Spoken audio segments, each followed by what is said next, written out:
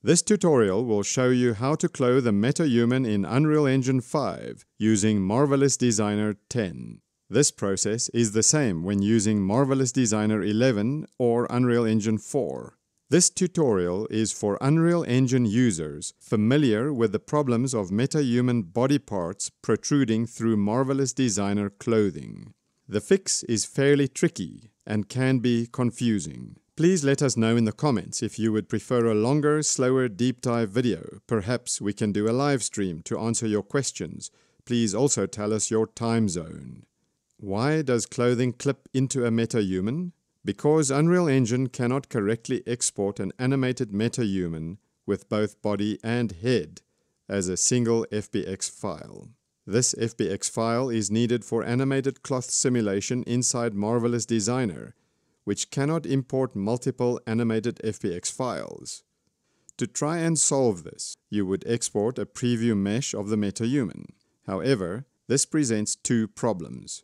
The preview mesh does not also export the post-process blueprint which runs the morph targets which are present on a fully working metahuman. Since the muscle bulging doesn't match the full metahuman, the cloth sim clips into the body. The other problem exists since MetaHuman Creator was updated. The preview meshes included with a MetaHuman export no longer have heads. Animating cloth on a headless body is most often useless. A metahuman can be exported, body and head separate, but we failed to get a perfectly combined FBX out of Blender. We suspect Maya would work perfectly, although we don't use Maya at all.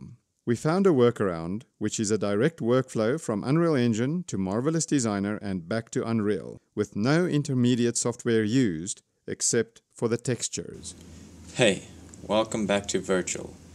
In this episode, I'll show you the workflow I use to clothe metahumans in Marvelous Designer and how to import the clothing. The biggest issue that we face is when the clothes stick through the body while animating. As you can see on the screen. And now I will show you how to fix that. So starting from scratch, you will need to go to your MetaHumans preview mesh, find the one that corresponds to the body you use. I'm using a male, tall, narrow weight body. So look for the same preview mesh. Usually the preview meshes came with heads, which we want, because otherwise when you clothe the metahuman in Marvelous Designer, your cloth will go into the head gap, the neck we don't want that. So since Epic updated their MetaHuman creator, the preview meshes no longer come with the heads.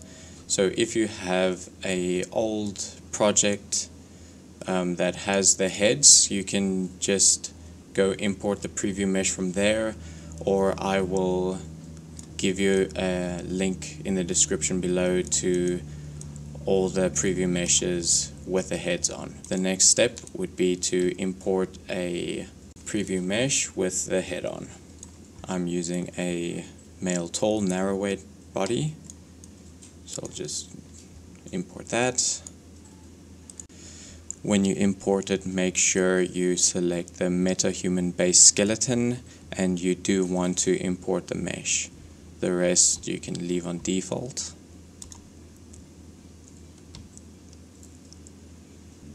You can just leave the preview mesh in this folder. Uh, you'll use it a bit later on. Alright, now head to your animation clip that you use for your metahuman. Okay, so this is where the magic happens. You have a post-process animation blueprint for your specific male tall narrow weight um, body. If you enable and disable this, you can see that the morph targets change and this is the reason why if you um, just take the preview mesh as normal your body will clip through the clothing so to fix this go to your preview mesh that you just imported and then on the left hand side in asset details scroll all the way down to post-process animation blueprint. There you look for the correct body and you select that one. And then you save. You close that down, go back to your animation, and then you want to go to the preview mesh animation, scroll down and look for your um, skeletal mesh, the preview mesh, with the post-process on. If you don't have it on, then in your animation there will not be a option to dis enable and disable it, so you need that option selected. Now as your animation moves, your morph targets match your original animation perfectly.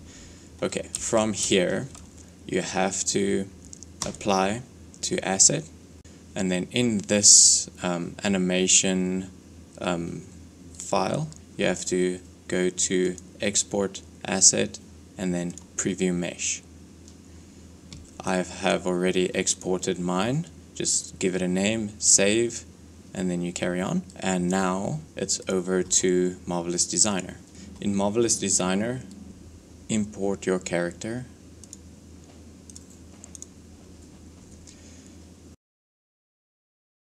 clothe your character. It helps if you start with an A pose or a T pose before the animation. Head to your animation and then simulate. Take note, if you are working in 60 frames per second, you have to go to time step and change this to 0.1666666. And then I find it best working in real time. Scene time warp 1 and then you do your simulation. I just have it at low quality for this tutorial.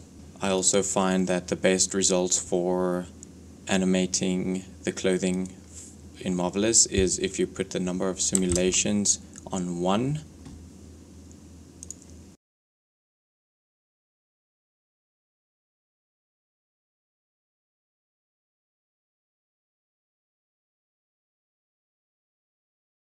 Once your simulation is done and you're ready for export, uh, take note that my frames are currently 730, but in Unreal Engine it is close to double that amount.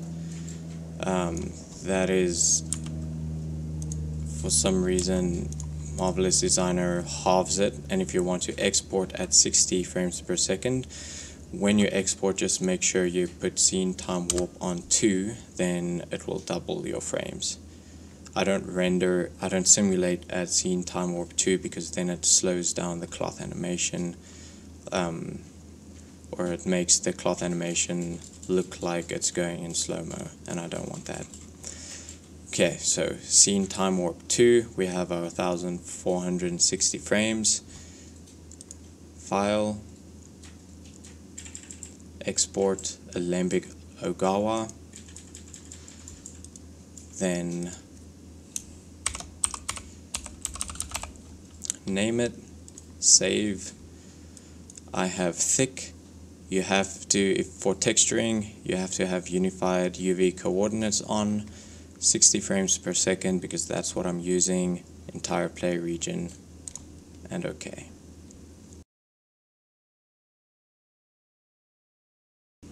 Once the export is done, head back to Unreal Engine, import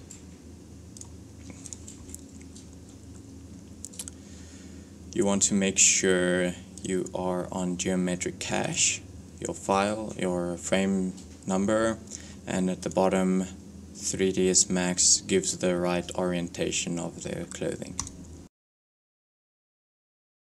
Save your file after importing your clothing to the scene, drag it in. While selected, go to your sequencer, add your clothing to the sequencer, go to track geometry cache. I am going to just put my start range at minus 60 because that aligns with my body. And then you just zero everything out.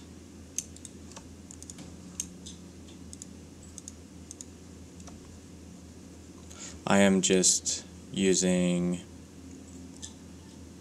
uh, shift right mouse button, shift left mouse button to copy and paste the transforms um, from the character to the clothing.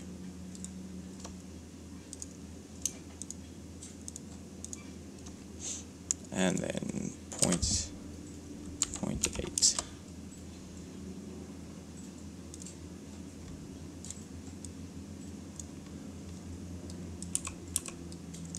And there we go.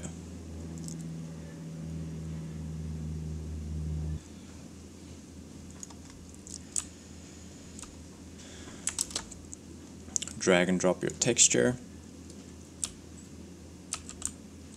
If you want to know how to texture the clothing, I use Quixel Mixer. Um, when in Marvelous, before exporting, um, go to UV Editor Make sure all your UVs are properly in the box with nothing touching each other. Then you export OBJ, go to Quixel Mixer, then you go to Setup, Custom Model, then select that OBJ file and